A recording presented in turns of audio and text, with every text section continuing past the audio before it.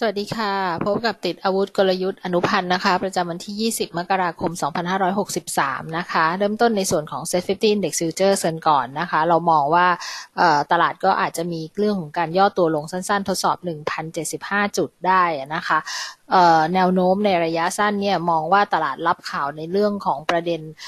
บวกจากเรื่องของการลงนามการค้าระหว่างสหรัฐกับจีนไปแล้วนะคะ แต่ก็ยังคงเป็นประเด็นที่เข้ามามีส่วนเสริมกับเซนติเมนต์การลงทุนในสินทรัพย์เสี่ยงนะคะ คาดว่านักลงทุนจะหันมาให้ความสนใจกับประเด็นการเมืองภายในนะคะ ที่เข้ามามีส่วนกดดันตลาดได้บ้างเพิ่มขึ้นนะคะ โดยมีประเด็นเรื่องของการยื่นอภิปรายไม่ไว้วางใจของฝ่ายค้านในวันนี้นะคะ ประกอบกับข่าวการ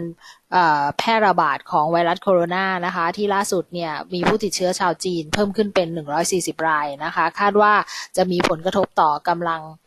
การบริโภคของนักท่องเที่ยวจีนในช่วงที่เข้าสู่เทศกาลตรุษจีนนะคะ แล้วก็จะเป็น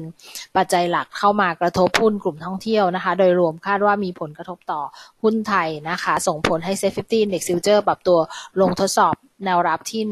1,075 จุดได้นะคะ กลยุทธ์เนี่ยในส่วนของ Day Trade เนี่ยให้เทรดดิ้งในระหว่างเลนจ์1,070 ถึง 1,080 จุดนะคะ ส่วน trend trade ให้ wait and see ไปก่อนนะคะ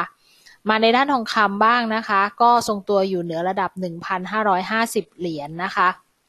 ตรงนี้เนี่ยเรามองแนวโน้มของราคาทองคำ spot วันนี้จะทรงตัวอยู่ในกรอบนะคะ ภายหลังจากที่นักลงทุนเนี่ยได้แห่เข้าซื้อทองคำในช่วงใกล้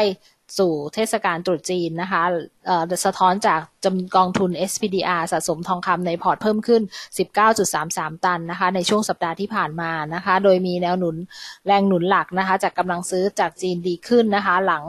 การประกาศตัวเลข GDP ของจีนที่เติบโตตามเป้า 6%นะคะ ประกอบกับการลงนามทางการค้าระหว่างสหรัฐจีนที่เกิดขึ้นในสัปดาห์ที่ผ่านมาเนี่ยส่งผลในเชิงบวกต่อการบริโภคทองคำในช่วงนี้นะคะ อย่างไรก็ดีเนี่ยยังคงมีตัวเลขเศรษฐกิจสหรัฐนะคะที่มีแนวโน้ม ฟื้นตัวอย่างต่อเนื่องเข้ามากดดันต่อราคาทองคำเป็นระยะนะคะ โดยล่าสุดเนี่ยตัวเลขจำนวนที่อยู่อาศัยเนี่ยเริ่มสร้าง ที่อยู่อาศัยเริ่มสร้างของสหรัฐในเดือนธันวาคมนี้เนี่ยเพิ่มขึ้นนะคะ สู่ระดับสูงสุดในรอบ 13 ปีนะคะ เป็นผลให้ dollar index แข็งค่าขึ้นสู่ระดับ